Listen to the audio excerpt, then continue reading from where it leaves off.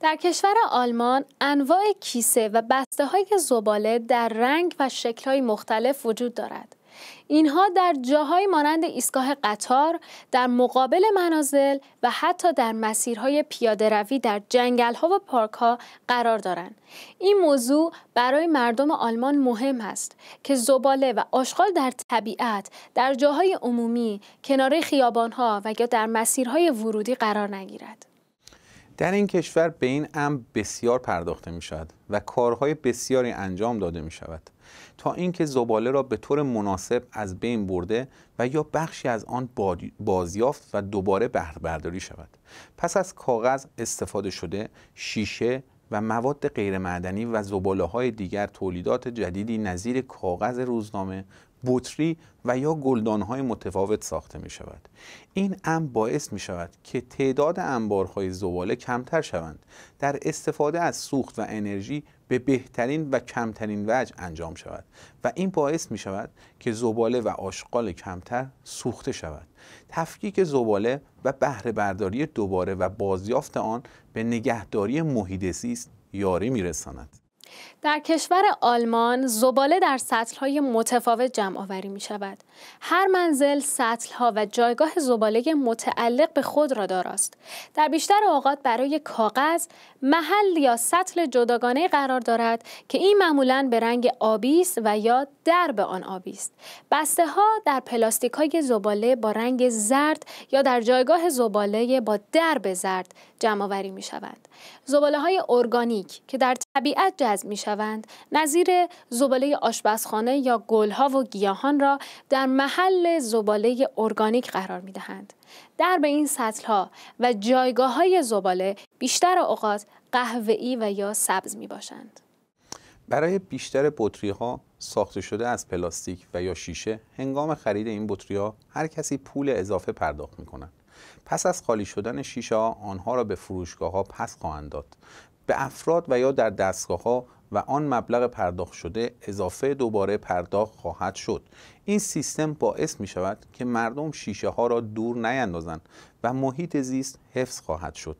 شیشه های جمعآوری شده در منازل و محراهای کاری بر اساس رنگ های آنها به طور جداگانه در جاگاه های موجود در خیابان ها و محل زندگی جهت بازیافت و دوباره استفاده شدن آنها دور انداخته می شوند. دور انداختن بطری ها در کانتینرهای شیشه معمولا باعث آزار و اذیت افراد دیگر می شود و به این خاطر هنگام انداختن بطری ها رعایت کنیم و آهسته این کار را انجام دهیم. زباله و آشغالی که جایگاه یا سطل ویژه نداشته باشد آن را در سطل و یا جایگاهی که زباله های دیگر نوشته شده دور بیاندازید که این سطل دارای درب سیاه رنگ است. رنگ های هر کدام از سطل ها و یا جای زباله در مناطق مختلف و متفاوت با هم فرق دارند. برای شناختن آنها حتی مردم آلمان نیاز دارند که جهت آگاهی در مورد تمیز دادن جایگاه های زباله سوال کنند تا اینکه بدانند که کجا زباله را دور بیاندازند. در دور انداختن زباله دقت نمایید که در کدام جایگاه و سطح می باشد. این عمل ممکن است که در ابتدا ساده نباشد و آزار دهنده باشد ولی در کشور آلمان هر کسی زباله را تفکیک می نماید تا اینکه محیط زیست حفظ شود و سالم بماند و این افراد با این کار در جامعه مورد احترام می باشند گروه ما در این وبسایت به این علت به شما توصیه می نماید که در مورد دور انداختن زباله و آشغال در محل زندگی خود مطلع شوید و آن را انجام دهید. در مورد این گونه موضوعات در اداره شهرداری محل زندگی خود اطلاعات به دست خواهید آورد و یا با همسایگان خود و یا با کسی که آدرس وبسایت ما را به شما معرفی کرده صحبت کنید. تفکیک و جداسازی زباله به وضعیت مالی هم تاثیر دارد. در بعضی از مناطق زباله عادی وزن می شود هر چقدر که زباله سنگینتر باشد سوزاندن و دور انداختن آن گرانتر خواهد شد و در عوض کاغذ و بسته ها و کارتون ها به صور رایگان جمع آوری می شوند.